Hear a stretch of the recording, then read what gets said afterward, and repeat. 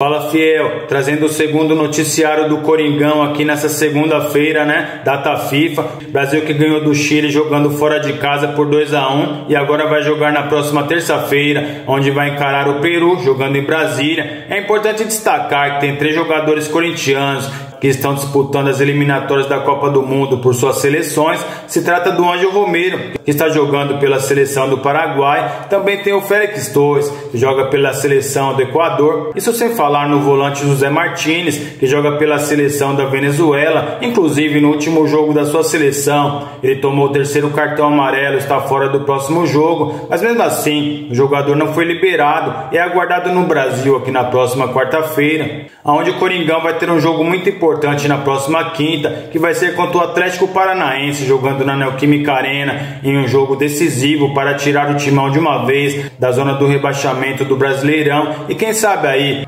alcançar, quem sabe, coisas melhores no Campeonato Brasileiro. Vamos trazer aqui algumas informações com relação ao Félix Torres, que está fazendo boas partidas pela seleção do Equador e é um dos destaques dessa eliminatória.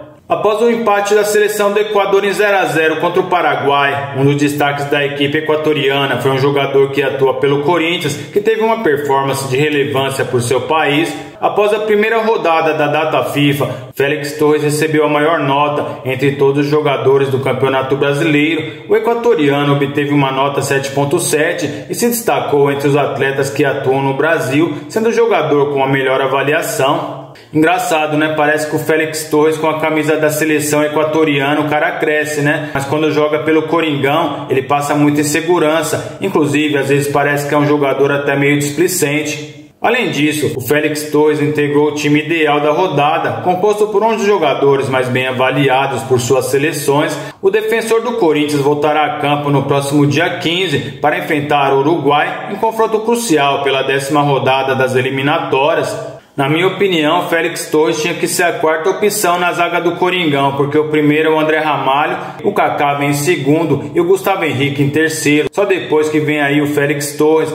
Será que esse jogador não está totalmente adaptado ao futebol brasileiro? Fica aí a dúvida, né? Apesar de eu já ter visto ele fazer algumas boas partidas com a camisa do Coringão, né? Vamos ver se o problema dele realmente é a adaptação e quem sabe aí mais pra frente pode ajudar muito o Coringão aí nessa nova fase. E eu vou ficando por aqui. Lembre-se de deixar o seu like, se inscrever no nosso canal e ative o sininho das notificações para ficar sempre muito bem informado sobre todas as notícias do Corinthians. Então até o próximo vídeo.